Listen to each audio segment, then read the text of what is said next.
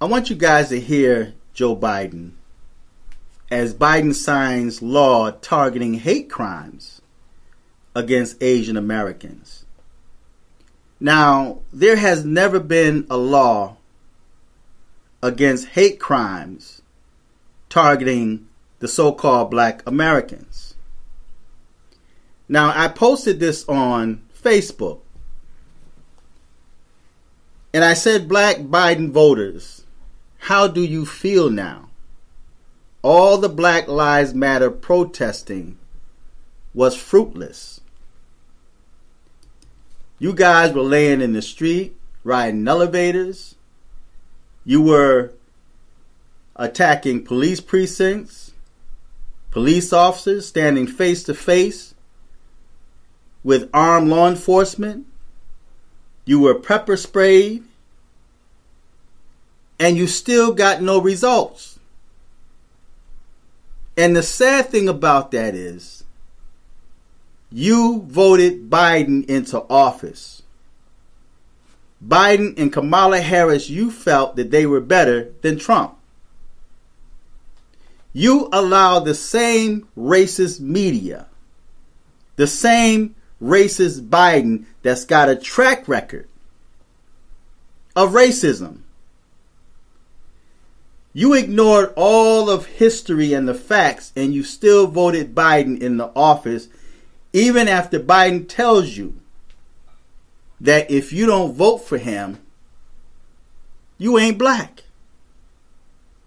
Now, I find it interesting that gays are protected, women are protected,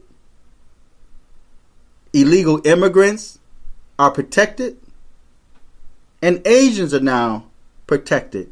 They signed into law targeting hate crimes against Asians in this country. But there has never been a law targeting hate crimes against the so called black Americans. Mainly because of the fact that, as I mentioned in the past, that the so called black Americans are not citizens.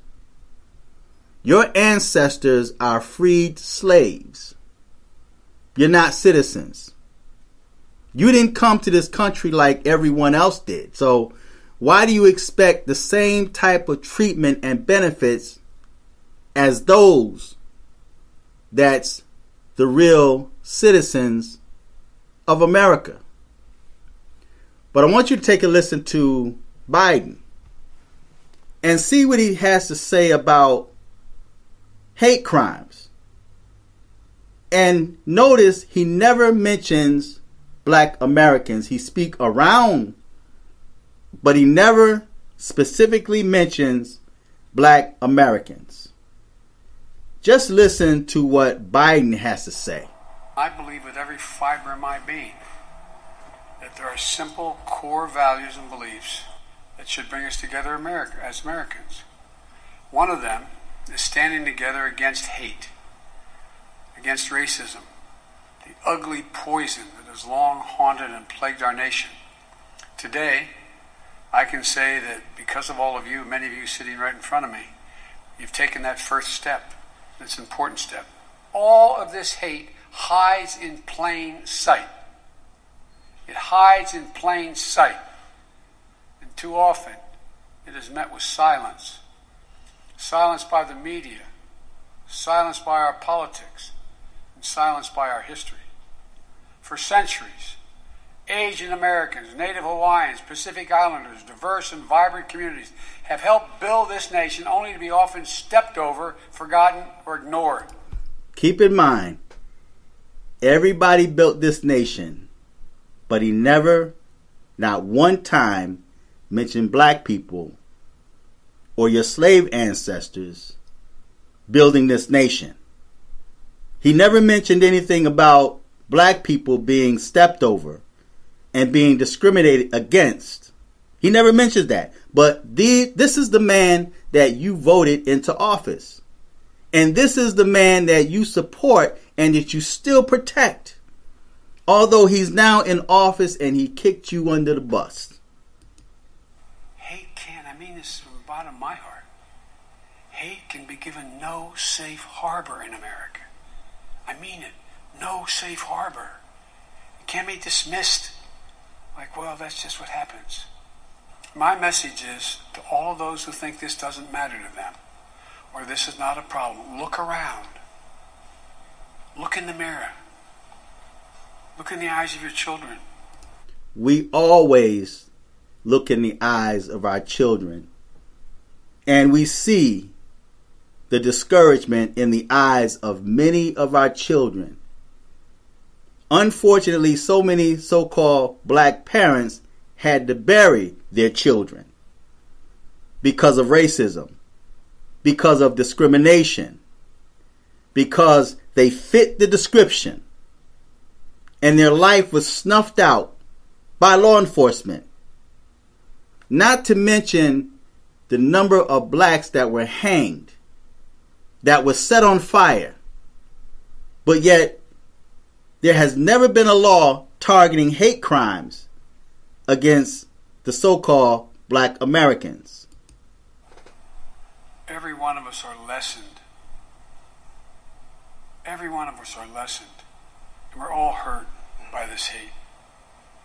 It has a way of seeping sort of through the cracks into communities and children who, in fact, wouldn't have crossed their mind. Words have consequences, as the senator knows. He preaches it. He understands it. Consequences. But silence is complicity. Silence is complicity. We cannot be complicit. That was Biden. This is the person you voted as president. And now this person has turned his back on you. And we warned you, we tried to warn you before you voted for Biden, but you allow the media to brainwash you, to bewitch you into thinking that Trump was a racist. And now we have the real racists signing a law protecting Asians, although it was a white man that attacked an Asian salon. But black people are being blamed. The media put out there that black people were the ones that were attacking Asians. Although I can show you where in China, where black people are discriminated against, even when it comes to a lot of their products and their commercials. That's racist against black people. But here in America, there's never been a law to protect the so called black Americans from racism, from discrimination, from hatred. So, feedback, tell me what you think, subscribe, click on the Cash App, support this channel. Until next time, I'm fearless.